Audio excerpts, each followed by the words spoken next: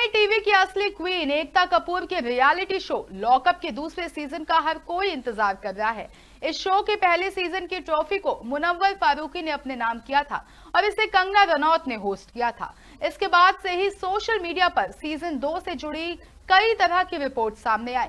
लेकिन अब खुद एकता कपूर ने सीज़न दो पर एक बड़ा अपडेट दिया है, जिससे फैंस की एक्साइटमेंट बढ़ गई है। इतना ही नहीं, एकता कपूर ने कंगना रनौत के चुनाव लड़ने पर भी रिएक्शन दिया है। दरअसल एकता कपूर हाल ही में एक इवेंट में नज़र आए। इस दौरान पैपराजी ने एकता कपूर के देखते ही लॉकअप टू पर सवाल शुरू कर दिए।